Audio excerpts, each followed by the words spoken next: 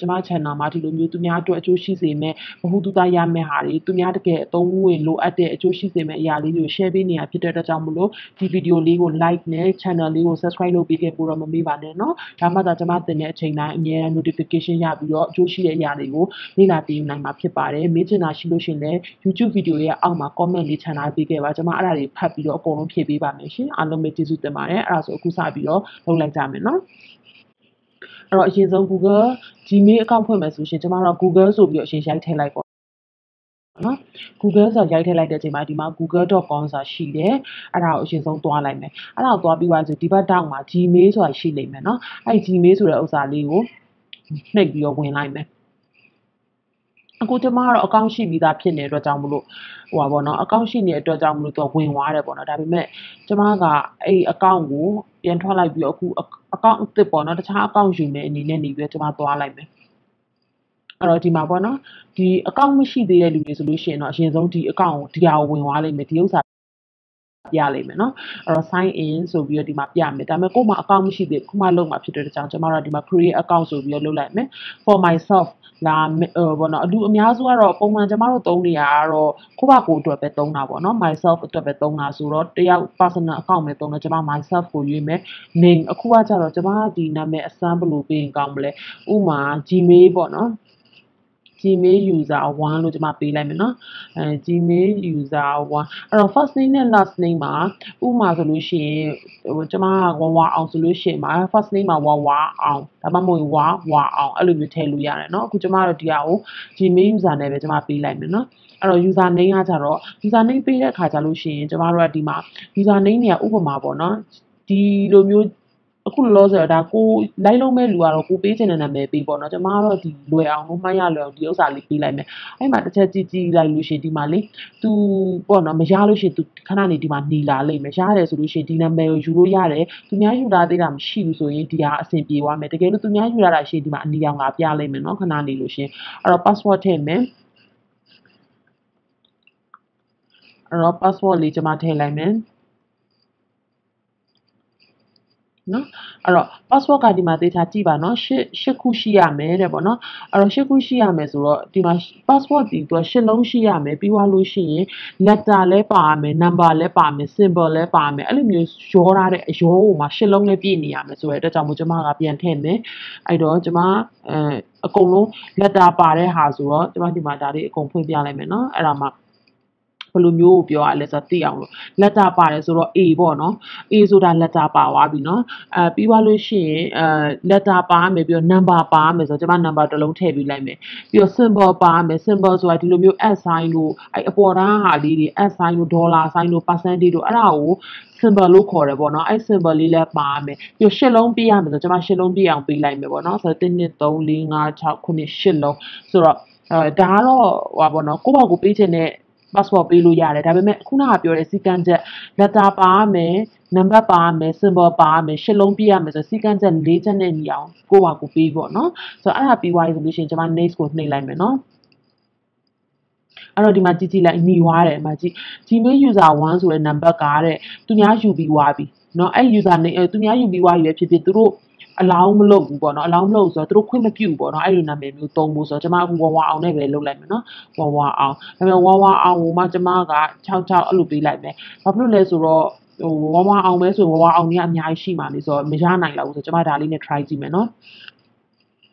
အဲ့တော့66ကလည်းမရနိုင်ဘူးဆိုတော့ထားပါတော့68 ဒါကိုမရမချင်းမစိမ့်မချင်း try နေရမှာပေါ့နော် taken တဲ့ဒီမှာလေ the user name is taken ဆိုတော့တခြားတစ်ယောက်ဒီဝဝအောင်68ဆိုတဲ့ဟာရှိနေပြီပြီဆိုတော့ကျွန်မကအဲ့ဆိုလို့ရှိရင်ဝဝအောင်00ဆိုပြီးပေးကြည့်လိုက်မယ်ရှိနေပြီလားဆိုတော့နော်ဝဝအောင်00ကလည်းသူများယူလာပြီးပြီဆိုတော့အဲ့ဒါဆိုရင်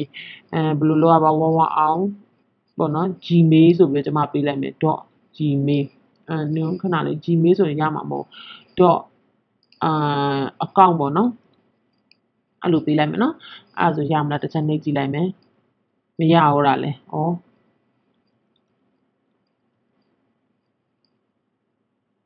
အော်ရပါပြီနော်အဲ့တော့ဘယ်ဟာရပါလဲဆိုဒီမှာဝါဝါအောင်ကိုရပါတဲ့နံပါတ်ကဒီမှာအဲ့ဒါကိုမမေးနဲ့နော်အဲ့ဒါကိုမေးသွားလို့ရှိရင် login ဝင်လို့ရတော့မှာမဟုတ်ဘူးအဲ့တော့ဝါဝါအောင် .official@gmail.com ဆိုကျွန်မပေးလိုက်တယ်ပေးလိုက်ပြီးသွားပြီဆိုလို့ရှိရင်အခုဒါကကျွန်မနိုင်ငံကိုရွေးရခါကျတော့ဒီမှာကိုယ်နိုင်ငံမြန်မာနိုင်ငံဆိုတော့မြန်မာနိုင်ငံကိုသွားရွေးမယ်နော်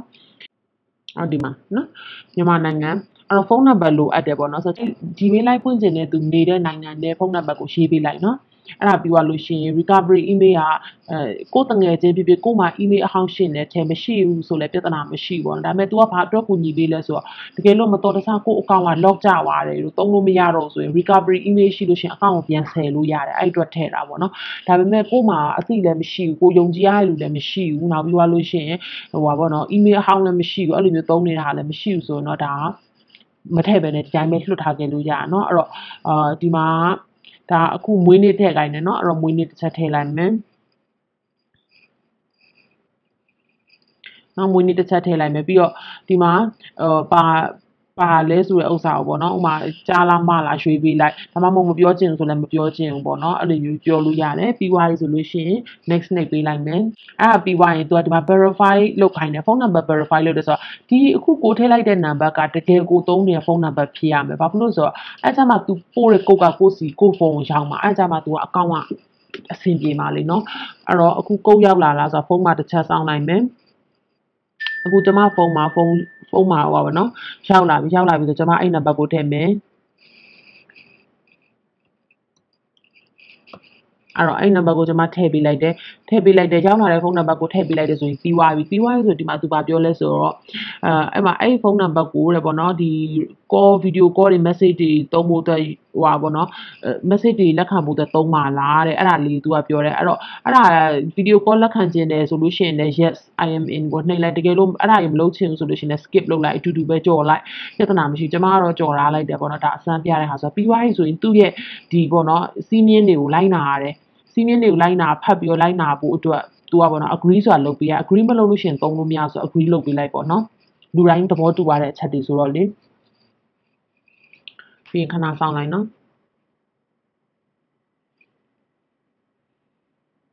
ခဏလေးဆောင်လိုက်နော်ဒီနားမှာ loading ဖြစ်နေ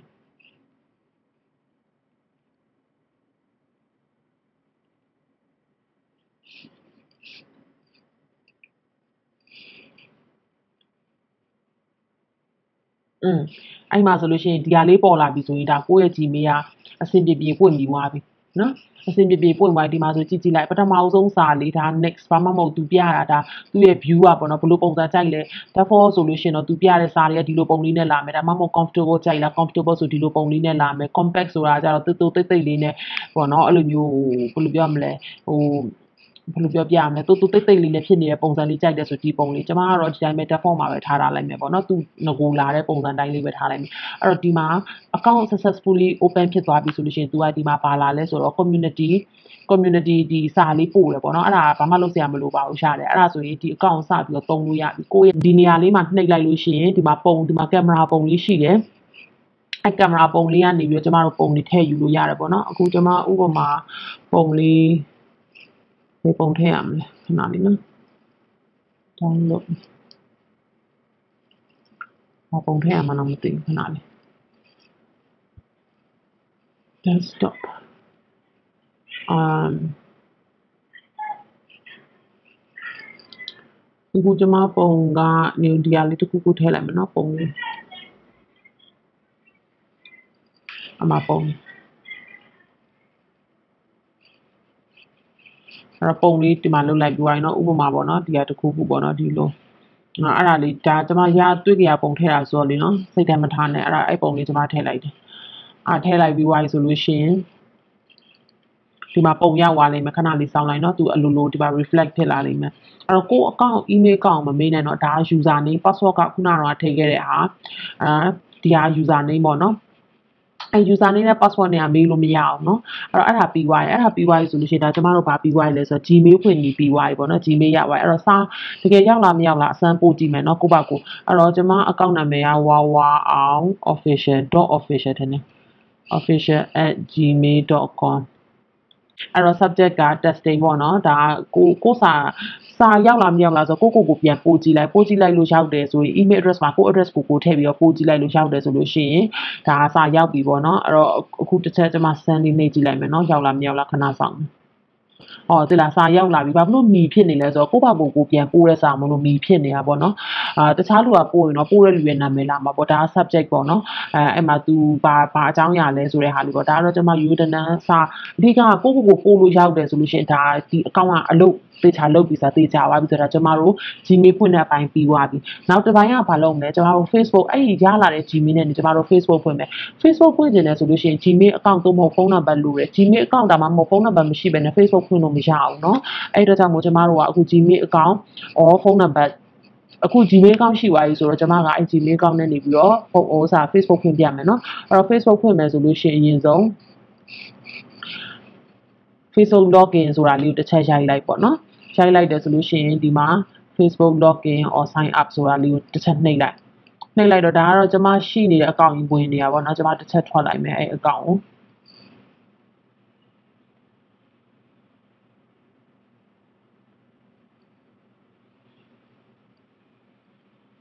အဲ့တော့ ကျွန်မထွက်လိုက်မယ်ထွက်လိုက်ပြီးသွားပြီဆိုလို့ရှိရင်ဒီမှာ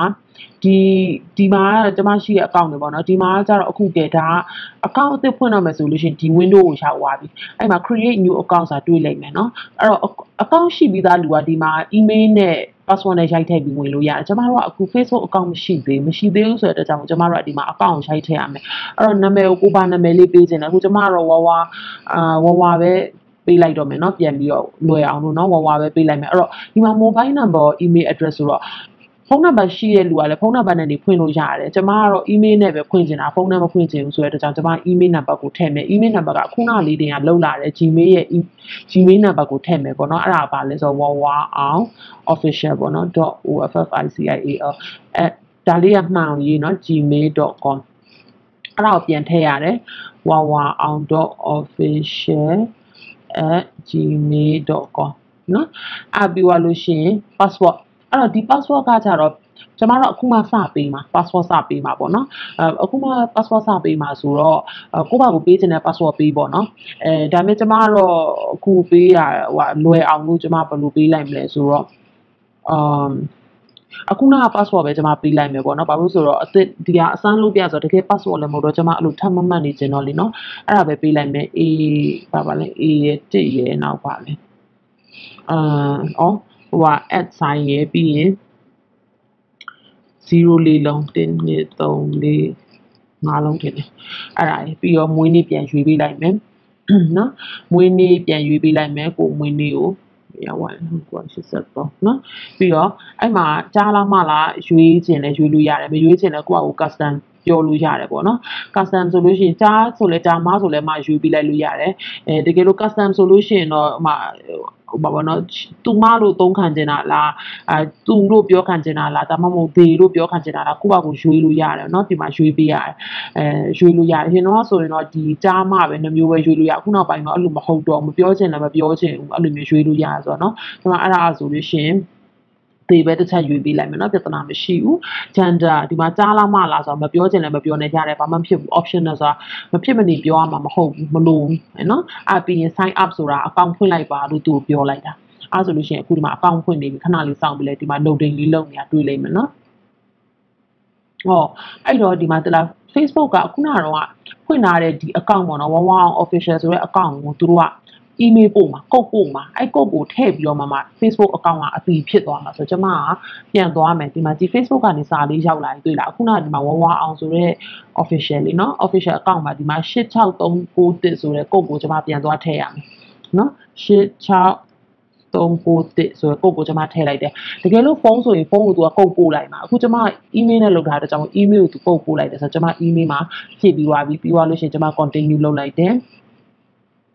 အဲ့တော့အဲ့ဒါဆိုလို့ရှိရင်ဒီ account ကအတည်ဖြစ်ပြီးဒီမှာ account confirm နဲ့ successfully confirm your account with the email တဲ့เนาะဆိုတော့ကျွန်မ account ကတကယ်အတည်ဖြစ်သွားပါပြီအတည်ဖြစ်သွားပြီဆိုရင်ပြီးသွားပြီเนาะပြီးသွားပြီဆိုတော့ခဏလေးအဲ့မှာခဏလေးလုံတင်လုံနေတယ်ဆိုတော့ဆက်စကျဲမှာကျွန်မဘာမှပုံနေပါရင်မရှိသေးဘူးပေါ့เนาะပုံမရှိသေးဘူးဆိုတော့ကျွန်မဒီပုံကိုထည့်ပုံကိုထည့်တိုင်းပဲပေါ့နော်ဆိုတော့ကျွန်မဒါလေးကိုပဲပုံလွယ်လွယ်လေးလေးကိုပဲလုပ်လိုက်မယ်နော်အဲ့မှာသွားကိုပုံသိမ်းထားတဲ့နေရာလေးကိုသွား သွားပြီးသွားဆိုရှင်ကျမခုနကတော့ဒီမှာ screenshot ယူလိုက်တဲ့ပုံလေးဖြစ်သွားတယ်ပေါ့နော်ကိုကဒီ line လုပ်တဲ့သူကတော့ကိုယ့်ဘာကိုကိုတင်ချင်တဲ့ပုံကိုကိုတင်ပေါ့နော်ကျမကတော့ဒါကွန်ပျူတာမှာရှိနေတဲ့ပုံဒါမှမဟုတ်လို့ရှင်ဖုန်းနဲ့လုပ်တဲ့လူဆိုလည်းဖုန်းမှာရှိနေတဲ့ကိုကြိုက်တဲ့ပုံရွေးပြီးတော့တင်လိုက်ပေါ့နော်အခုလုပ်တဲ့အတိုင်းပဲဒီဟိုဗာလေကင်မရာလေးကိုနှိပ်ပြီးတော့သွားလိုက်တာပဲအဲ့ဒါပြီးသွားပြီဆိုလို့ရှိရင်ဒီမှာ find people you know ဆိုကိုတငယ်ချင်းတွေကို email number မှာတငယ်ချင်းတွေရှိရဆိုရင်အဲ့ဒီ email ဟိုပါပေါ့နော် ဘယ်လိုပြောမလဲ email number မှာတငယ်ချင်းတွေရှိနေတာဆိုလို့ရှိရင်လည်းဒီမှာတငယ်ချင်းတစ်ခါတည်းအချင်အဲ့လိုရမှာအချင်လည်းရတယ်အဲပြီးရင်ဒါမှမဟုတ်ကိုယ်တငယ်ချင်းနာမည်ပေါ့နော်နာမည်ရှိနေကိုယ်တငယ်ချင်းရဲ့နာမည်တွေတို့ email တို့သိရင်လည်းဒီမှာရိုက်ရှာလို့ရှိရင်ထွက်လာလိမ့်မယ်အဲ့မှာတွေ့လို့ရှိရင် add friend add friend ဆိုပြီး add သွားလို့ရတယ်ပေါ့နော်ဒါကတော့တငယ်ချင်းဟိုတငယ်ချင်းထည့်တဲ့အပိုင်းပေါ့နော်အဲ့တော့ ကျမတို့ကတော့အခုဒါအကောင့်အပိုင်းကိုပဲခြုံပြီးတော့ပြောလိုက်မယ်เนาะတငယ်ချင်းထည့်တဲ့အပိုင်းကိုဟိုကတော့အချက်အခုနကတော့ပဲအချမ်းမြင်လေးပဲကျမပြောသွားလိုက်တယ်အဲ့ဒါပြီးသွားပြီဆိုလို့ရှိရင်ကျမတို့ကမလုပ်လဲဆိုတော့အခုဒါအကောင့်ဖွင့်ပြီးသွားပြီအကောင့်ဖွင့်ပြီးသွားပြီဆိုတော့အကောင့်ရသွားပြီအဲ့တော့ထားပါစို့ကျမတို့ကဒီဒီအကောင့်ကို page ရစေခြင်းနဲ့ဆိုတော့အခုအခု Facebook အကောင့်ဖွင့်ပြီးပြီးသွားတော့ page ဖွင့်ပြီး page ဘယ်လိုဖွင့်မလဲလွယ်လွယ်လေးပါ page ဘယ်လိုဖွင့်ရမလဲဆိုတော့အကောင့်တစ်ခုရပြီဆိုရင် page ဒီအကောင့်မရှိဘဲနဲ့ဖွင့်လို့မရဘူး Facebook page က Facebook account မရှိပဲဖွင့်လို့မရတော့ကျမတို့မှာအခု Facebook account ရှိပြီးသွားပြီဆိုတော့ကျမတို့က page ဖွင့်လို့ရပြီ page ဖွင့်မယ်အခု page ဖွင့်မယ်ဆိုရှင်ကျမတို့ဒီမှာ create ဆိုတဲ့ဟာလေးကိုနှိပ်လိုက် create ဘာကို create လုပ်ချင်တာလဲ group create လုပ်ချင်ရင်ဒီမှာ group ဆိုတာနှိပ်ပြီးဆက်လုပ်သွားလို့ရတယ်ဒါပေမဲ့ဒီနေ့ကျမပြောမှာကျတော့ group create လုပ်တာမဟုတ်ဘူး page create လုပ်တာပြောမှာဖြစ်တဲ့ကြောင့်မို့ page ဆိုတဲ့ဟာလေးကိုနှိပ်လိုက်မယ်အဲ့တော့ကျမမှာကိုယ်ပိုင် page ကလေးရှိတော့မယ်ပေါ့နော်ဆိုတော့ကျမကိုယ်ပိုင် page က business or brand လားဒါမှမဟုတ် community or public figure လားအဲ့ဒါဆိုတော့ဥပမာ business or brand လားဆိုတာကိုကစီးပွားရေးလုပ်တဲ့ page ပေါ့နော်ဥပမာဆိုလို့ရှိရင်ကိုက entertainment page ကိုထောင်ချင်တာဆိုလို့ရှိရင်ဒီမှာ business တို့ brand တို့ထဲမှာပါတယ်ဥပမာအလှကုန် cosmetic ဒါမှမဟုတ်အင်ဂျီအဝတ်စားအဲ့ဆိုလို့ရှိရင် business or brand ထဲမှာပါတယ်အဲ့လိုမှမဟုတ်ပဲねဥပမာကိုကဟာသားတရုပ်ဆောင်ဆိုလို့ရှိရင် community or public figure ဆိုတဲ့ထဲမှာပါသွားလိမ့်မယ်။အော်ဒါမှမဟုတ်နိုင်ငံရေးလုပ်တဲ့သူဆိုရင် community or public figure အဲ့လိုမျိုးပေါ့နော်ဆိုတော့သူရဲ့သက်ဆိုင်ရာကိုရွေးပြီးမယ်။အခုကျွန်မကဒီ business or brand အနေနဲ့လုပ်ပြမယ်။အတူတူပဲတော့နှစ်ခုလုံးကဆိုတော့ကျွန်မဒီဟာလေးနဲ့နေလုပ်ပြမယ်နော်။အဲ့တော့ get started ဆိုတော့အစမယ်လို့နှိပ်လိုက်တယ်။ အဲ့တော့ page နေ page နေကကိုကဘာနာမည်ကိုပေးချင်တာလဲအဲ့တော့ကျမကအခုဝဝအောင်ဝဝအောင် testing ပေါ့နော်ဝဝ testing လို့ပဲကျွန်မပေးလိုက်မယ်ဝဝ testing လို့ပေးလိုက်မယ်ပေးလိုက်ပြီးသွားလို့ရှိရင်ဒါဒါတော့ live လုပ်တဲ့သူပါပေါ့နော်ကိုပေးချင်တဲ့နာမည်ကိုပါကိုရေးထည့်လို့ရတယ်ကျွန်မကတော့ဒီက test လုပ်ပြတဲ့ဟာပဲဆိုတော့လေနော်ဒီလိုပဲပေးလိုက်မယ်ပြီးတော့ category category ရတဲ့ဒီမှာဒီ page ကဘာလုပ်မှာလဲဒီ page ကကျွန်မရဲ့ page က ဟိုပါပေါ့နော် online shopping လုပ်မှာ online shopping လုပ်မှာဆိုတော့ကျွန်မကဒီမှာ online shopping ဆိုပြီးရှိုက်ထည့်ကြည့်မယ်နော် အဲ့မှာ category တွေဆိုလို့ရှိရင်အများကြီးရှိတယ်။ကျွန်မက shopping and retail လားအခုဒီ online shopping လုပ်မှာဆို shopping and retail ပေါ့နော်။တကယ်လို့အဲ့လိုမဟုတ်ဘဲနဲ့ restaurant လားစားတောက်ဆိုင်လုပ်ငန်းလား local service လားဒါမှမဟုတ်လို့ရှိရင် sports and recreation လားเนาะအားကစားပစ္စည်းအားကစားနဲ့ပတ်သက်တဲ့ကိစ္စလားဒါမှမဟုတ်လို့ရှိရင်နောက်တခြားပါရှိဒီမှာ social media agency လားเนาะနောက်ပြီးရင်ဒီမှာ property အိမ်ချမ်းမြေတွေလားအဲဒါမှမဟုတ်လို့ရှိရင် legal ဒီတရားရေးနဲ့ပတ်သက်တဲ့ကိစ္စတွေလားစားတောက်ဆိုင်လားစသဖြင့်ဒီမှာကျွန်တော်တို့ရွေးလို့ရတယ်။ ကျွန်မကတော့လောလောဆယ် shopping and retail ကိုရေးလိုက်မှာပါဆိုတော့ကျွန်မ online shopping page အနေနဲ့လုပ်မှာဆိုတော့လေနော်အဲ့ဒါပြီးတော့လိပ်စာအဲ့မှာဆိုလို့ရှိရင်လိပ်စာထည့်တဲ့အခါကျလို့ရှိရင်ဒီလိပ်စာကလေကိုယ့်ဘာကိုလိပ်စာအစ်စ်ကိုထည့်လဲရတယ်လိပ်စာအစ်စ်ကိုထည့်ပြီးတော့မပြစေခြင်းဒီ box လေးကိုချစ်ခဲ့လိုက်ရင်မပြအောင်တကယ်လို့လိပ်စာအစ်စ်ကိုမထည့်ခြင်းဘူးဆိုလို့ရှိရင်လိပ်စာအစ်စ်ကိုမထည့်ခြင်းဘူးဆိုလဲလိပ်စာအတုထည့်လို့ရတယ်ဥပမာဆိုလို့ရှိရင်ပေါ့နော်အာဥပမာဆိုလို့ရှိရင်ဘယ်လိုပြောရမလဲဆိုတော့อืม ရန်ကုန်မှာဆိုလို့ရှိရင်30ပေါ့နော်30လမ်းပေါ့နော် 30th street ပေါ့နော်ဥမာကြောက်တရားပေါ့နော်ကြောက်တရားလမ်း30ကလမ်း30မဟုတ်29လမ်းထားပါတော့မှ20လမ်း20လာတာပေါ့နော်အာလာတာတောင်ရှိပေါ့နော်လာတာတောင်ရှိဆိုပြီးကျွန်မထည့်လိုက်တယ် city country လဲဆို country ကမြန်မာရန် city ကရန်ကုန်အဲ့တော့ရန်ကုန်ဒီမှာရန်ကုန်မြန်မာဆိုတော့တစ်ချက်ရှာကြည့်လိုက်ဒီမှာအော်ရန်ကုန်ဒီမှာ ရန်ကုန်ဘာမားဆိုတာရှိပါတယ်နော်တကုံအဲ့တော့လာတာကလာတာပေါင်းရှစ်ဆိုတကုံမဟုတ်ဘူးနော်လာတာအဲ့တော့ poster code poster code ကိုကြတော့ဘာလဲဆိုတော့စာတိုင်းအမှတ်ကိုစာတိုင်းသက်တာအမှတ်ကိုပြောတာ poster code ဆိုတာအဲ့တော့စာတိုင်းသက်တာအမှတ်ဘယ်လိုလို့သိမလဲဆိုတော့ကျမတို့ကလာတာဆိုပြီးရိုက်ရှာလိုက်ဟိုဟာမှာပေါ့နော် Google မှာလာတာ poster code ကြမ်းမြင့်ရမှာပေါ့နော်ကိုယ့်ဘာကိုဒီမှာလာတာမျိုးနယ်ရဲ့ poster code ကတစ်တစ်သုံးတစ်တကယ်လို့ကိုယ့်အိမ်နံပါတ်ရဲ့ poster code ကိုရေးမယ်ဆိုလို့ရှိရင်လည်းကိုကကိုယ့်အိမ်နံပါတ်ကိုရိုက်ထည့်ပြီးတော့လာတာမျိုးနယ်ပါရိုက်လိုက်ပြီးတော့အနောက်မှာ poster code ဆိုပြီးရေးပေးလိုက်ရင်သူနဲ့သက်ဆိုင်တဲ့ poster code ကြမှာပေါ့နော်အခုကျွန်မကဒါအစမ်းဆိုတော့လာတာရဲ့ poster code ကိုပဲကျွန်မထည့်ပေးလိုက်တယ်ဖုန်းနံပါတ်က optional ဆိုတော့ထည့်ပေးခြင်းလည်းရမထည့်ပေးခြင်းလည်းရတယ်ဆိုတော့ကျွန်မမထည့်ပြီးတော့ဘူးပြီးတော့ဒီဟာကိုသူများတွေဒီ address ကိုသူများမသိစေချင်ဘူးဆိုလို့ရှိရင်ကျွန်မတို့ကဒီမှာ don't show my address ဆိုတဲ့ဟာကိုနှိပ်လိုက်အဲဆိုရင်သူများမသိတော့ပြီးရင် continue နှိပ်လိုက်အော်ဒီမှာကျတော့သူကဘယ်လိုဖြစ်လဲဆိုတော့လာတာနဲ့မရဘူးပေါ့နော်အဲဆိုတော့ရန်ကုန်ရန်ကုန်မြန်မာရှိမလားတစ်ချက်ကြည့်လိုက်ရန်ကုန်မြန်မာမရှိဘူးရန်ကုန်ဘာမှရှိလားတစ်ချက်ကြည့်မယ်နော်ရန်ကုန်ဘာမှကရိုးရိုးရန်ကုန်ရှိရရမလားတစ်ချက်ကြည့်ကြည့်လိုက်။အော်ရိုးရိုးရန်ကုန်ဆိုလဲရသွားမယ်ထင်တယ်။ခဏလေးစောင့်ကြည့်မယ်နော်။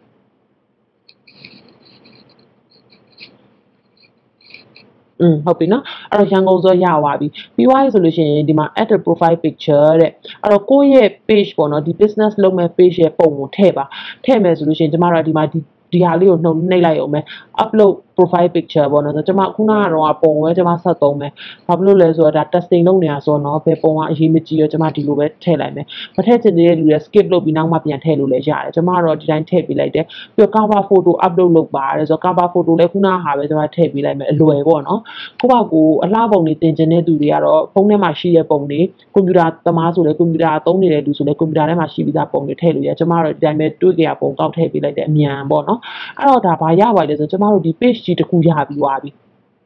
page ကြီးရသွားပြီเนาะဒီမှာကြည့်ကြည့်လိုက်အဲဒီမှာ wawa testing ဆိုတဲ့ page ရသွားပြီဒီမှာဒါကိုယ့်ရဲ့ home เนาะဒီမှာ post လုပ်တဲ့ဟာတွေဒီမှာဒါကိုယ့် page ရဲ့အသစ်ဖြစ်သွားပြီဥမာ cover cover ကလေဒီမှာ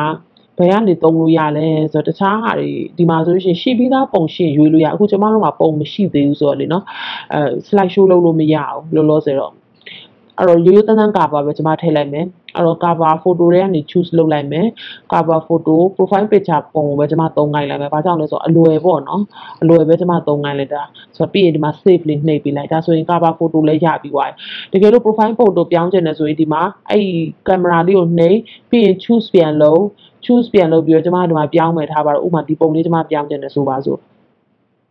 နော်အဲ့ဒါဆိုရှင်ဒီမှာ position ချလိုက်အော်ဒီလိုမျိုးမဟုတ်လို့ရှိရင်ပုံကမရွရွ play ကြီးတွေဖြစ်နေမှာဆိုတော့ position လေးတိကျလေးချပြီးလိုက်အဲ့ဒါဆိုရင်ပြီးသွားပြီနော်အဲ့ဆိုရင် profile ပုံလည်းရပြီ cover ပုံလည်းတင်ပြီးသွားပြီဒါတော့ဟို account ဖွင့်တဲ့သူကကိုကြိုက်တဲ့ပုံကိုတင်ပေါ့နော်ကျွန်မကတော့ဒီဟာလေးနဲ့ပဲအစမ်းအလွယ်ပဲတင်ပြလိုက်တာဆိုတော့အဲ့တော့ဒါကျမရဲ့ page ဖြစ်သွားပြီအဲ့တော့ page နဲ့ account နဲ့ဒီမှာကြည့်ကြည့်မယ်ဒီအပိုင်းကဒီလိုမျိုးစနေတယ်ဒီအပိုင်းကဒါကြီးက page ဖြစ်တယ်ဒီအပိုင်းကိုဒီအပေါ်ပိုင်းကိုပြန်သွားလိုက်အဲ့ဒါ account ဖြစ်တယ် မရောနဲ့ပေါ့နော်ဒီအကောင့်ရဲ့ဒီဟာလေးကအကောင့်ရဲ့ messenger ပေါ့နော်အကောင့်ရဲ့ messenger page ကိုပြန်သွားချင်တယ်ဆိုကျွန်မတို့ဒီမှာနှိပ်လိုက်ဒီဟာလေးကိုသွားပြီးဒီမှာကြည့်ကျွန်မကဒီအကောင့်ဝဝအောင်ဆိုတဲ့အကောင့်အောက်မှာကျွန်မ page တွေအများကြီးဖွင့်လို့ရတယ်အခုကျွန်မတစ်ခုပဲဖွင့်တာတယ်ဝဝ testing ဆိုတစ်ခုဖွင့်တာဆိုအဲ့ page ကိုသွားချင်တယ်ဆိုကျွန်မတို့ဒီတိုင်းပဲ page လေးနှိပ်လိုက်ဒါဆိုရှင်ကိုယ့်ရဲ့ page တွေရပါဥမာ save post တယ်မယ်ဆိုလို့ရှင်ထားပါ testing ပေါ့နော် ထားပါ testing post ပေါ့နော်ဆိုပြီးတော့တင်လိုက်တယ်အဲ့ဒါဆိုလို့ရှိရင်ဒါဘာဖြစ်သွားပြီလဲဆိုလို့ရှိရင်ကျမတို့ကဘာဖြစ်သွားပြီလဲဆိုတော့ post ကရှာသွားပြီအဲ့ post ကိုသွားကြည့်မယ်ဆိုဒီမှာ post ဆိုတဲ့ဟာလေးရှိတယ်အဲ့ post ကိုနှိပ်နှိပ်ပြီးသွားပြီဆိုလို့ရှိရင်ဒီမှာကြည့်အဲ့တော့အခုကျမတို့ page ကပေါ့နော်ဘသူ့ဟိုမှမရောက်သေးဘာလို့မရောက်သေးလဲဆိုတော့တငယ်ချင်းမှမရှိသေးတာပေါ့နော်တငယ်ချင်းမှမရှိရတော့ကိုကတငယ်ချင်းကိုအကောင့်ကနေပြီးတော့ဒီအကောင့်ကနေတငယ်ချင်းတွေလိုက်ရှာနာမည်တွေလိုက်ရှာပြီးတော့ like up like up ပြီးတော့မှမှ ကို page မှာတင်တာသူများတွေ့မှာအဲ့ကြမှာလေနော်ကိုမှတငယ်ချင်းရှေ့မှာတွေ့မှာတငယ်ချင်းမရှိသေးဆိုရင်က page ကိုသူတို့တွေ့အောင်မှာမဟုတ်ဘူးဒါပေမဲ့ဘာလို့လို့ရလဲဆိုတော့တငယ်ချင်းတော့မရှိသေးဘူး page ကတင်တဲ့ဟာတွေသူများတွေ့အောင်ဆိုရင်ကျမတို့က group တွေရှိရ group တွေကိုပဲ group ကိုသွားခြင်းတယ်အဲ့ group တွေမှာ like share ရင်တော့တွေ့တာပေါ့နော်အဲ့လိုမျိုးတော့ရတယ် နော်ဆိုတော့အခုဒီမှာအခုကျွန်မကဒါဆိုလို့ရှိရင်အခုပြောသွားတဲ့အကြောင်းအရာမှာအာ Facebook page လည်းဖွင့်ပြီးသွားပြီပြီးသွားပြီเนาะအဲ့တော့ကျွန်မဒီ page boost လုပ်တဲ့အကြောင်းကိုပြောသွားမယ်เนาะ page boost ဘယ်လိုလုပ်မလဲဆိုတဲ့အကြောင်းညာလေးပြောသွားမယ်အခုကျွန်မပြောသွားတဲ့ဟာတွေထဲမှာ နားမလည်တာတွေပါတယ်ညံွားတာတို့စိတ်ပြီးတော့မရှင်းတာတို့ပါတယ်ဆိုရင်ဟိုအာမနာပါနဲ့ကျွန်မကို comment မှာ comment လေး YouTube ဗီဒီယိုရဲ့အောက်က comment ကိုပြောတာနော်အဲ့ဒီတခြား comment ကြောင့်ကျွန်မမဖတ်ဘူးတနေရာမှာပဲစူးစူးစီစီဆိုတော့ YouTube ဗီဒီယိုအောက်က comment မှာရေးခဲ့ပါသိချင်တဲ့ဟာတွေအားလုံးကိုရေးပြီးတော့ထားခဲ့ပြီးကျွန်မအဲ့ဒါတွေကိုဖတ်ပြီးတော့အချိန်ရတာနဲ့နေပြီးတော့ကျွန်မရှင်းပြပေးပါမယ်နော်ဆိုတော့အခုဆက်ပြောမှာက page boost လုပ်တဲ့နေဘယ်လို boost လုပ်လဲဆိုတော့ အခုကျမတို့ boost လုပ်မယ်ဆိုရင် post post တင်ရပြီအခုကျမကဒီ post ရှိနေပြီပေါ့နော်ဆိုတော့ကျမဒါကို boost လုပ်မယ်ဒါအဲ့ဒါဆိုရှင်ဒီအောက်မှာတင်တာသူ့ဘာသူအလိုလိုအပြာလေးပေါ်နေ boost post ဆိုတော့ဒီ post ကိုလူတွေအများကြီးသိအောင်ကျမတို့ post လုပ် boost လုပ်မယ်ပေါ့နော်ဆိုတော့အဲ့ boost ကိုနှိပ်လိုက်နှိပ်လိုက်ပြီဆိုလို့ရှိရင်ဒီမှာ तू ကဘာအရင်ဆုံးပြောလဲဆိုတော့ အာဒီမှာပေါ့နော်။ तू ကဒီဒီဟာဒါသူ့ရဲ့ policy တွေပေါ့နော်။ तू လိုက်နာရမယ်စီမင်းစည်းကမ်းချက်တွေပေါ့နော်။အဲ့ဒီစီမင်းစည်းကမ်းချက်ကတော့မလိုက်နာလို့မရဘူးဆိုတော့အကုန်လုံးကိုကိုကလိုက်နာပေးရမှာပဲ accept လုပ်ပေးရမှာပဲ accept မလုပ်ဘူးဆိုရင်ဘာမှလုပ်လို့ရမှာမဟုတ်ဘူး။အဲ့အပြင်ဒီ box လေးက तू तू ဟိုပါပေါ့နော်။ဒါကိုတိကျအောင် acknowledgement ပေါ့နော်တိကျအောင်လေးကိုသူပြောတာဆိုတော့ဒါပြဿနာမရှိဘူးပိတ်လိုက်အရေးကြီးတဲ့အပိုင်းကလာပြီဒီမှာအဲ့တော့အခုဒီမှာဆိုလို့ရှိရင်ဒီဟာကကျမတို့တကယ် boost boost လုပ် boost လုပ်တဲ့ ဟိုပါပေါ့နော် boost လုပ်တဲ့အပိုင်းစပြီပေါ့နော်ဆိုတော့ boost လုပ်ပြီဆို audience ဆိုတာကိုကဘယ်လိုပရိသတ်တွေစီဘယ်လိုလူတွေစီကိုရောက်ချင်တာလဲဆိုတာရွေးရတယ်အဲ့ဒါအရင်အရေးကြီးတယ်။ဘာကြောင့်အရေးကြီးလဲဆိုတော့အဲ့ဒါမျိုးကိုတေချာရွေးပြီးတော့မထည့်လိုက်တဲ့အခါကျလို့ရှိရင်ဥပမာကိုကကိုကိုကအမျိုးသမီးထားပါတော့အမျိုးသမီးအဝတ်အစားတွေကိုကျွန်မရောင်းတယ်ဆိုပါဆိုဥပမာအမျိုးသမီးအဝတ်အစားရောင်းနေတဲ့ဟာကို audience ကိုအမျိုးသမီးမရွေးပေးလိုက်တော့အမျိုးသားတွေစီရောက်သွားတော့အမျိုးသားတွေကဝယ်မှာမဟုတ်ဘူးလေအများစုကမဝယ်တော့ဘာဖြစ်လဲဆိုတော့ကျွန်မဒီ Facebook ကိုပေးလိုက်ရတဲ့ပတ်စံအလကားဖြစ်သွားတယ် အဲ့တော့ကျမတို့ကဘာလုပ်ရလဲဆိုတော့ကိုယ့်ရဲ့ audience ကိုရောက်စေခြင်းတဲ့ target ပေါ့နော် target လို့ပြောပါပေါ့လွယ်လွယ်ကူကူဆိုရင်ကိုရောက်စေခြင်းတဲ့ target ကိုတိတိကျကျရွေးချယ်ရတယ်အဲ့ဒါကြောင့်မှသာကိုကုံတဲ့ပတ်စံဟိုပါပေါ့နော်အကျိုးရှိမှာလေနော်ဆိုတော့အခုဒီမှာ audience ရွေးမယ်ဒီမှာဆိုလို့ရှိရင်ကျမတို့ကဒီမှာဘာလုပ်လို့ရလဲဆိုတော့ဒီမှာ तू ကဘယ်လိုလိုဖြစ်နေလဲဆိုတော့ auto က မြန်မာပြည်မှာနေတဲ့သူရန်ကုန်မှာနေတဲ့သူအသက်18ကနေ65ဖြစ်နေတယ်။အဲကျွန်မကအဲ့ဒါမဟုတ်ဘူးကျွန်မကပြင်ကျင်တယ်ကိုယ်စိတ်ကြိုက်ပြင်ကျင်တယ်ဥပမာပေါ့နော်ပြင်ကျင်တယ်ဆိုကျွန်မကဘာနှိပ်လိုက်လဲဒီမှာ edit ကလေးကိုနှိပ်လိုက်တယ်။ edit နှိပ်လိုက်တဲ့အချိန်မှာကျွန်မကဥပမာအမျိုးသမီးအဝတ်ပဲရောင်းမယ်ဆိုအမျိုးသမီးကိုပဲရောက်စေချင်တယ်။အမျိုးသမီးရောအမျိုးသားဆိုအော်နှိပ်လိုက်။အမျိုးသမီးပဲရောက်စေချင်တယ်အသက်18နှစ်အသက်18နှစ်ဆိုအများအပြည့်ငယ်သေးတယ်ဆိုတဲ့အတွက်ကြောင့်မို့အဲကျမဒီရောင်းတဲ့ပစ္စည်းကိုဟုတ်ပဲနဲ့20ကျော်လူကိုကျမစရောက်မယ်လို့ဆုံးဖြတ်တယ်ပေါ့နော်ဆိုတော့အဲ့ဆို တကယ်လို့မဟုတ်ဒါကိုကိုစိတ်ကြိုက်ရွေးလို့ရပါဘောနော်ကျမကတော့ဥမာကျမရောင်းမဲ့ပစ္စည်းကအသက်20ကျော်နဲ့ပဲကြိုက်တဲ့ပစ္စည်းမျိုးဖြစ်တယ်ဆိုရှင်ကျမကအသက်20ကိုရွေးလိုက်မယ်ပြီးတော့အသက်65အတွက်မကြိုက်တဲ့ပစ္စည်းမျိုးဖြစ်တယ်ဆိုရှင်ကျမဥမာလူရောကျော်ကျမ55နှစ်ဝန်းကျင်ဒီအသက်ဝန်းကျင်ရှိတဲ့လူတွေကြားထဲကိုပဲကျမရောက်စေခြင်းနဲ့ပေါ့နော်မဆိုင်တဲ့သူကိုမရောက်စေခြင်းဆိုပါစို့ဒါဆိုကျမကဒီမှာအဲ့လိုမျိုး target တွေသေချာရွေးပြီးလိုက်တယ်ပြီးတော့ location ကဒီမှာ auto ကရန်ကုန်ဖြစ်နေတယ်ကျမကမဟုတ်ဘူးရန်ကုန်လည်းရောက်ချင်တယ်မန္တလေးလည်းရောက်ချင်တယ် မန္တလေးမှာနေတဲ့လူတွေကိုလည်းရောက်ချင်တယ်ဆိုမန္တလေးကိုနှိပ်အဲ့ဆိုမန္တလေးရောက်သွားပြီမန္တလေးကလူရန်ကုန်ကလူနောက်ပြီးတော့ကျမကအာဟိုပါပေါ့နော်ဥမာဆိုတောင်ကူကလူလည်းရောက်ချင်တယ်နော်တောင်ကူတောင်ကူဟင်တောင်တောင်ကူဘယ်လိုပေါင်းတော့မသိတော့တောင်ကူထင်တယ်အော်ဒီမှာတောင်ကူလည်းရောက်ချင်တယ်ပကိုးလည်းရောက်ချင်တယ်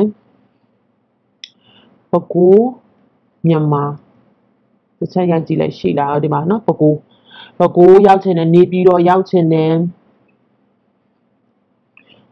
စသဖြင့်ပေါ့နော်ကိုရောက်ချင်တဲ့နေရာအားလုံးဒီမှာရိုက်ရှာရိုက်ရှာပြီးတော့အဲ့မှာ add လိုက် add ပြီးသွားပြီဆိုလို့ရှိရင်မပြီးသေးဘူးဘာလုပ်ရမလဲဆိုတော့ဒီမှာ demographic demographic or interest or behavior ဆိုတော့ဒါကဘာယူလို့ရလဲဆိုတော့အဲ့ဒီအခုကျွန်မပြောလိုက်တဲ့ဟာကပထမအပေါ်မှာကြည့်လိုက်အသက် အမျိုးသမီးတွေအသက်20နဲ့55နှစ်ကြာအမျိုးသမီးတွေစီကိုပဲဒီကြော်ညာပို့ပေးပါအဲ့ဒီကြော်အဲ့ဒီအမျိုးသမီးတွေဒီပဲခူးမန္တလေးနေပြီးတော့တောင်ကူရန်ကုန်နဲ့တခြားပေါ့နော်ကိုပဲနေရာလိုချင်တာအဲ့နေရာမှာနေတဲ့အမျိုးသမီးတွေဖြစ်ရမယ်ပြီးရင်အမျိုးအဲ့နေရာမှာနေတဲ့အမျိုးသမီးတွေအများကြီးရှိတယ်အဲ့ဒီမှာမှာဘာလို့စိတ်ဝင်စားတဲ့လူလဲဆိုတော့ထပ်ရွေးပြီးလို့ရတယ်ကျမတို့ကပြောချင်တဲ့သဘောကကိုကြော်ညာတစ်ခုတင်လိုက်တဲ့ကြော်ညာက လူ target ကိုထိထိမိမိရောက်ဖို့အတွက်ကိုကျမတို့ဒါမျိုးလေးပိုင်းပြီးတော့လုပ်ပေးရပါတော့ဆိုတော့အခုဒီမှာဆိုလို့ရှိရင် ဘယ် target ကိုရောက်ချင်တာလဲဥပမာ behavior interest ပေါ့သူဘာလို့စိတ်ဝင်စားလဲသူ demographic ကဘာလဲပေါ့နော်ဥပမာသူ online shopping ကိုစိတ်ဝင်စားတာလားအာကြည့်ကြည့်လိုက်ပေါ့နော် online shopping online shopping ကိုစိတ်ဝင်စားတဲ့သူလားဆိုကျွန်မ online shopping ကိုထည့်လိုက်မယ်ပြီးသွားလို့ရှိရင်ဥပမာ cosmetic တို့ဘာတို့စိတ်ဝင်ဥပမာ cosmetic ကိုပေါ့နော်စိတ်ဝင်ကို cosmetic ရောင်းမယ်ဆိုပါဆိုဒါဆိုရှင် cosmetic ကိုစိတ်ဝင်စားတဲ့သူလားဒီမှာတစ်ချက်ကြည့်လိုက်ဒီမှာနော် cosmetic မှာအများကြီးရှိတယ်အဲ့မှာမှာ cosmetic consultant လားပါလားဒါမှမဟုတ်လို့ရှိရင်ဥပမာ brand ပေါ့နော်ဘာ brand တွေရှိလဲမြန်မာပြည်မှာအခု online shopping မှာနာမည်ကြီးတဲ့ brand တွေမှာ mango ပေါ့နော် mango အထည်တွေကိုစိတ်ဝင်စားတဲ့သူဒီလားကျမဥမာဒီ post က mango post ဆိုပါဆိုဒါဆိုကျမ mango စိတ်ဝင်စားတဲ့လူပဲရောင်းမှာပေါ့ဟုတ်တယ်မလား mango မကြိုက်တဲ့လူကျမဘာလို့ရောင်းမှာလဲเนาะအဲ့ mango မကြိုက်တဲ့လူစီကိုသွားခိုင်းတော့ဒီကြော်ညာကကျမပေးရတဲ့ပတ်စံကမကြိုက်ဘူးလေเนาะဆိုတော့ဥမာ ကိုကမန်ဂိုရောက်မှာဆိုမန်ဂိုကြိုက်တဲ့လူပေါ့မန်ဂိုအပြင်တခြားမန်ဂိုလိုမျိုးအလားသဏ္ဍာန်တူတဲ့ brand လေးတွေကိုကြိုက်တဲ့လူမျိုးဖြစ်ရမှာပေါ့အဲ့တော့ကျမဒီဥမာမန်ဂိုနဲ့အလားသဏ္ဍာန်တူတဲ့ brand လေးတွေပါရှိလဲ H&M လို့ဟုတ်တယ်မလား H&M ကြိုက်တဲ့လူတို့အဲစသဖြင့်ပေါ့နော်အများကြီးပဲကွာဒီမှာရွေးလို့ရတယ်ကိုစဉ်းစားလို့ရရင်စဉ်းစားလို့ရသလားအကုန်လုံးမှာ fashion ကိုကြိုက်တဲ့လူပေါ့ဘာလို့လဲဆိုတော့ကျမအခုဒီ post ကဥပမာဟိုပါပေါ့နော် shopping and fashion ဟိုပါပေါ့နော်ဒီအခုတင်တဲ့ post boost လုပ်မဲ့ post ကိုကျွန်မက fashion ပစ္စည်းလို့ယူဆလိုက်ပါဆိုအဲ့ဒါဆိုလို့ရှိရင်ကျွန်မကအဲ့ဒီဟာတွေကိုကြိုက်တဲ့လူမျိုးကိုပဲကျွန်မပြရမှာပေါ့အဲ့ဒါမကြိုက်တဲ့လူကိုသွားပြတော့ပြက Facebook ကကိုယ်ပတ်စံတောင်းပြီလေဒါပေမဲ့ကိုကမကြိုက်တဲ့လူသွားပြတော့ဝင်ရောင်းရမှာမဟုတ်ဘူးအဲ့ဥစ္စာကနေဟုတ်တယ်မလားအဲ့တော့ကြောင့်မို့ကျွန်မတို့က ကိုကုံတဲ့ပတ်စံကိုအကျိုးရှိရှိလုံးဝတရားရာခိုင်လုံးလုံးအကျိုးရှိအောင်အတွက်ဒါမျိုးတွေကိုအသေးစိတ်လိုက်ပြီးတော့ရေးပေးနေရတာဖြစ်တယ်ပေါ့နော်အဲ့တော့ဒီမှာကျွန်မဒီ demographic တွေ interest တွေ behavior တွေထည့်ပြီးသွားပြီဒါအများကြီးထည့်လို့ရတယ်ရှစ်ခုကိုခုထည့်လို့ရတယ်အဲ့ဒါကိုထည့်ထည့်ပြီးသွားပြီဆိုလို့ရှိရင်ကျွန်မကဒီမှာဒီမှာပေါ်လာပြီတလားဒီမှာသူ့ရဲ့ meter လေးရှိတယ်ကြည့်လို့ရတယ်ဒီမှာကြည့် your audience size is defined နဲ့နော်အဲ့တော့ကျွန်မကဒီအချက်တွေနဲ့ညီတဲ့လူဘယ်နှယောက်လောက်အကြမ်းမြင်ရောက်နိုင်လဲဆိုတော့လူပေါင်း3 3 3တန်းပေါ့နော်လူ3တန်းလောက်ကိုရောက်နိုင်တယ်တဲ့လူ3တန်းလောက်ရောက်နိုင်တယ်ဒီအချက်လက်တွေနဲ့ညီတဲ့လူအယောက်ပေါင်း3တန်းလောက်ရှိတယ်ဆိုတာဒီမှာပြလာပြီဒီမှာနော်အဲ့ဒါပြီးသွားလို့ရှိရင်ကျွန်မဒီဟာကိုကျင့်တတ်ပြီဆိုလို့ရှိရင် save လုပ်လိုက်တော့မယ်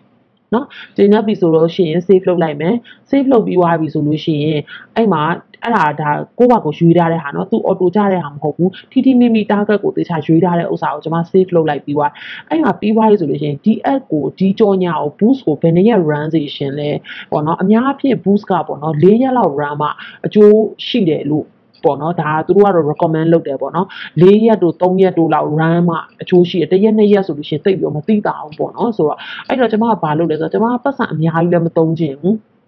ဟုတ်ပါဘောနော်အဲရက်ကြကြလဲ run ကျင်တယ်ပတ်စံအများကြီးလည်းမသုံးချင်ဆိုတော့ဒါကိုညှိလို့ရတယ်ဘလို့ညှိလို့ရတယ်ဆိုတော့ဥမာရက်ကို तू က၄ရက်လောက်မှ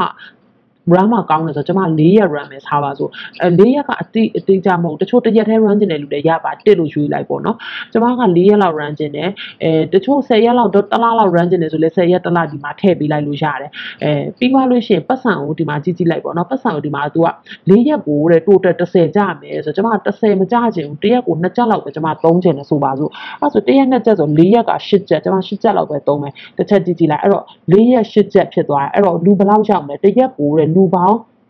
1400ကနေပြီး4100ကြာပြပေးမယ်တဲ့ဒီ amount ဆိုကျွန်မနည်းနည်းလေး amount တိုးပေးကြည့်မယ်နော် amount ကို30တိုးပေးလိုက်တယ် amount 30တိုးလိုက်ဘယ်လောက်ရောက်မလဲတရက်ကိုတဲ့နှစ်ချက်တိုးလိုက်တာနဲ့เนาะတရက်ကို1800နဲ့9200ကြာရောက်မယ်ဆိုတော့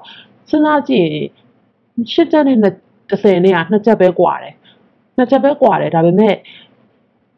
sorry အာနှစ်ချက်ပဲကွာတယ်ဒါပေမဲ့ရောက်တဲ့လူနှုံကအများကြီးကွာသွားဆိုတော့ကျွန်မနှစ်ချက်တည်းကွာတာနဲ့တော့ကျွန်မ30ဘိုးပဲ run လိုက်တော့မယ်၄ရက်စာပေါ့နော်ဆိုတော့သူကတရက်ကို2.5သုံးမယ်ဟုတ်တယ်မလား၄ရက်ဆိုတော့2.5လီ30ဆိုတော့နော်၄၄ရက်16ရက်နေ့မေလမှာပြီးမယ်တဲ့ဆိုပြီးအဲ့ဒါပြီးသွားရင်အခုဒီမှာပြနေတဲ့ဒေါ်လာဘာဒေါ်လာလဲဆိုတော့စင်ကာပူဒေါ်လာပြနေတယ်အဲ့တော့ဒါကသူ30ဆိုတော့အကျန်းမြင့်ဆိုတော့မြန်မာငွေနဲ့ဆိုလို့ရှိရင် ယ်လောက်ရှိမလဲဆိုတော့ဟိုပါပေါ့နော်မြန်မာငွေနဲ့ဆိုလို့ရှိရင်1000လောက်ရှိမှာပေါ့30ဆိုတာအကြမ်းမြင်ပေါ့နော်ဘာလို့ဆိုအခုဒေါ်လာဈေးက900ကျော်ဆိုတော့လေ1ဒေါ်လာ900ကျော်ဆိုတော့ကျွန်တော်တို့အနည်းဆက်ဆုံး30နဲ့1000နဲ့တွက်တဲ့ခါကျတော့30ဘိုးဆိုလို့ရှိရင်ဒါမြန်မာငွေ1000ဝန်းကျင်လောက်ကျရမယ်ပေါ့နော်1000ဝန်းကျင်လောက်ကိုလူတစ်ရက်ကို1800နဲ့9200ကြား ရောက်နိုင်တယ်ပေါ့နော်ဆိုတော့တရက်ကို1800ဆိုထားပါတော့2000ပဲထားတရက်ကိုအနည်းဆုံး2000ရောက်တယ်ဆိုရင်၄ရက်ဆိုတော့လူ8000ကိုကျမရဲ့ကြော်ညာပြပေးမယ်အဲ့တော့ကျမငွေ1000သုံးပါတယ်ဆိုတော့မစိုးဘူးပေါ့နော်ဒါအနည်းဆုံးလူ1000လေ sorry အနည်းဆုံးလူ1000လေးများလို့ရှိရင်တကယ်လို့အများကြီးရောက်တယ်ဆိုလို့ရှိရင်9000ပဲထား9000ဆိုလို့ရှိရင်လူ2000တောင်မှရောက်နိုင်တယ်ပေါ့နော်ဆိုတော့အဲ့တွေကနေပြီးတော့ဘယ်ဘယ်နှစ်ယောက်ကအဲ့လူ2000နဲ့ဘယ်နှစ်ယောက်ကကျမစီကနေလာဝယ်မလဲဝယ်တယ်အများကြီးဝယ်တယ်ဆိုကျမတန်သွားပြီ1000ဆိုတာတကယ်တမ်းပြောရင်စေးတွေအများကြီးရောင်းသွားပြီဆို1000ဆိုတာဘယ်နှစ်ထည်အမျက်မှမရှိဘူးတစ်ထည်နှစ်ထည်အမျက်စာပဲရှိတယ်အဲအင်ဂျီဥမာမန်ဂိုလိုအင်ဂျီမျိုးတစ်ထည်နှစ်ထည်နှစ်ထည်အမျက်စာတော့မရှိဘူးဆိုတော့နှစ်ထည်အမျက်စာလောက်ကိုရင်းခံလိုက်တာနဲ့ကျမတို့က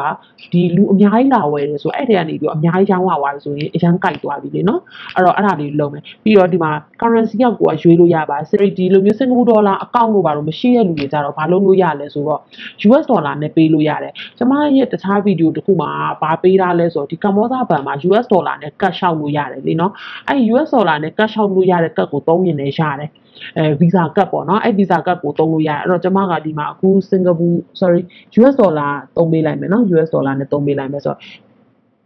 US ဒေါ်လာနဲ့သုံးပေးလိုက်မယ်ဆိုလို့ရှိရင်အဲ့တော့ဈေးရိတ်ကအဲ့ချလို့ရှိရင်တော့နည်းနည်းများသွားကွာသွားပြီ။ဘာကြောင့်လဲဆိုတော့ဒီမှာကြည့်အောက်မှာလူရောက်တဲ့အရေးအတွက်လည်းကွာသွားပြီ။အဲ့တော့ကျွန်မဒါကို၈ချက်လောက်9ချက်လောက်ပြန်လျှော့လိုက်မယ်။ဘာကြောင့်9ချက်ပြန်လျှော့လိုက်လဲဆိုတော့ဒီမှာကြည့်9ချက်မှ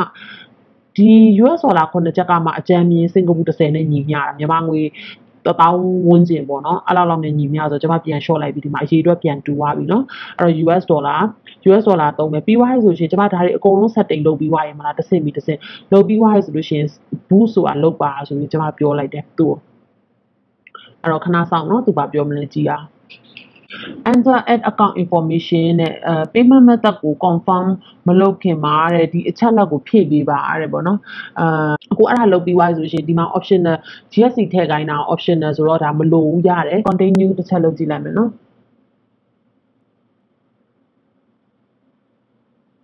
อืมဟုတ်ပြီအဲ့တော့ဘာရောက်သွားပြီလဲဆိုတော့ဒီမှာကတ်ထည့်ရမယ့်အခြေအနေရောက်သွားပြီကတ်ထည့်ရမယ့်အခြေအနေရောက်သွားပြီဆိုဒီမှာ credit card or debit card ဒီမှာ Visa card Master card American Express နောက်တာပါလဲ Discover တဲ့ Discovery လား Discover လားမသိဒီ card တော့မသုံးဘူးကျန်တဲ့ဟာတွေတော့သုံးဘူးလေပေါ့နော်ဆိုတော့အဲ့ဒီအဲ့ဒီဟာတွေမှာဆိုလို့ရှိရင်ကျမကအခုအဲဒီဘယ် card ကိုသုံးလဲဆိုတော့ အခုမြန်မာအခုလုံးမဲ့လူတွေကမြန်မာပြည်ကလူပဲကျွန်မယူဆရမယ်ပေါ့နော်မြန်မာပြည်ကလူယူဆတဲ့အတွက်ကြောင့်မလို့ကျွန်မကဒီဟိုပါပေါ့နော်မြန်မာပြည်ကကတ်ကိုသုံးပေးမယ်မြန်မာပြည်မှာကျွန်မကဘယ်ကတ်သုံးနေလဲဆိုလို့ရှိရင်ဒီကမ္ဘောဇကတ်ပေါ့နော်ကမ္ဘောဇကတ်သုံးနေတဲ့အတွက်ကြောင့်ဒီမှာနာမည်ရေးမယ်ပေါ့နော်ကျွန်မနာမည်ဝဝအောင်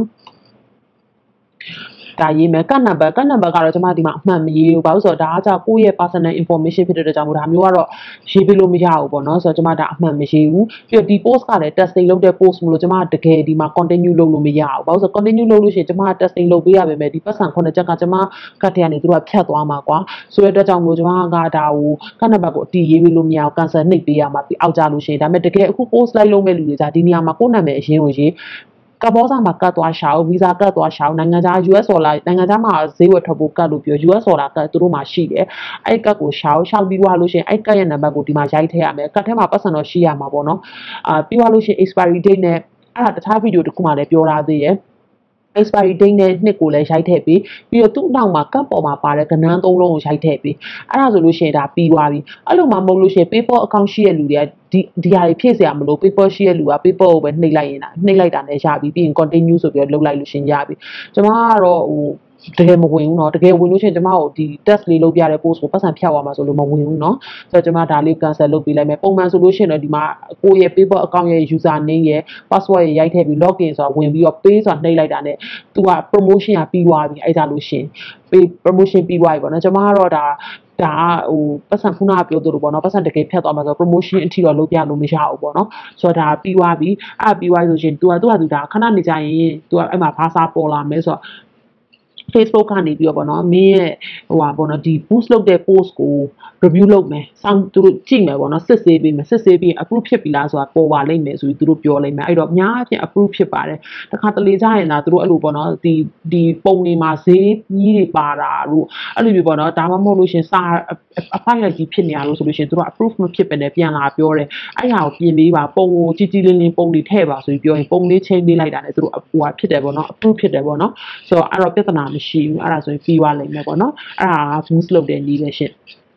အဲ့ဆိုပြီးပြီကျမတော့ဒါ cancel ပဲလုပ်တယ်เนาะခုနကပြောသလိုဖြတ်သွားမှာဆိုလို့လေเนาะအဲ့ဆို cancel ကျမတော့ cancel တကယ်လုံးမဲ့လူကတော့အဲ့မှာ boost ဆိုတဲ့ဟာသူကဒါ post boost လုပ်ပြီးသွားပြီပြီးသွားပြီအဲ့ကြလို့ရှိရင်ခဏနေကြရင်အဲ့ post ကမြင်ရတယ်လူဘယ်လောက်ထိဘယ်နှယောက်ထိရောက်တယ်ဆိုတော့ကျမအစမ်းပြပေးမယ်เนาะကျမရဲ့ဟိုပေါ့เนาะဒီတခြားတစ်ကောင်ကဘယ်လိုမျိုး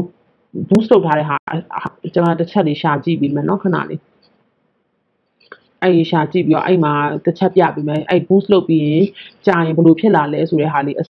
အားဆိုလို့ရှိရင်သူကဒီမှာပေါ့နော်ဒီအပိုင်းလေးကြည့်ပေးမယ်နော်အဲ့မှာဆိုရင်သူကဒီမှာ post engagement ဘယ်လောက်ရောက်တယ်လူရောက်ပေါင်းကိုကို9400ကျော်ရောက်တယ်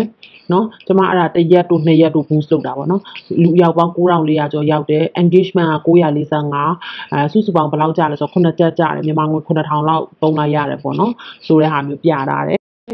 ဒီဟာဆိုလို့ရှိရင်ဒီ post ကိုဆိုလို့ရှိရင်ကြည့်ကြည့်လိုက်ဒီ post ဆိုလို့ရှိရင်9300လူ reach က9300 engagement က300ကျော်ဒီဟာဆိုလို့ရှိရင် post က reach က9000ကျော် engagement 900ကျော်နောက်ဒီဟာဆိုလို့ရှိရင်ဒီ post ဆိုလို့ရှိရင် post reach က9900ကျော် engagement က900ကျော်စုစုပေါင်းကျွန်မ8ချက်သုံးတယ်ပေါ့နော်စသဖြင့်အဲ့ဒါလေးအများကြီးကြည့်လို့ရတယ်ဒီမှာဆိုရင်ဒီကောင်ဆိုလို့ရှိရင်ကျမစုစုပေါင်းအဲ့တော့သုံးတာလေး သုံးတာဒီဟာအတွက်ဆိုရှင်ကျွန်မ6ချက်ပဲသုံးတယ်6ချက်ဆိုမြန်မာငွေ6000နီးပါးပေါ့နော်6ချက်သုံးတယ်သူ reach က11000ရောက်တယ်လူ11000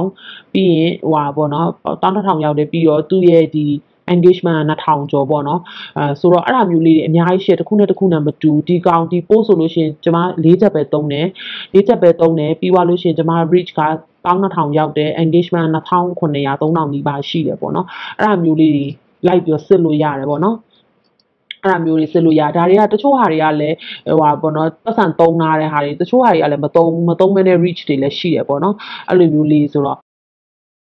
ဒါဒီမှာဒီ ad manager ဆိုတဲ့ဟာလေးမှာ ad center ဆိုဒီမှာ page မှာဒီဒီအလဲမှာ ad center ဆိုရှင်အဲ့မှာသွားပြီးနှိပ်လိုက်လို့ရှင်ကိုယ့်ရဲ့ဘယ် post က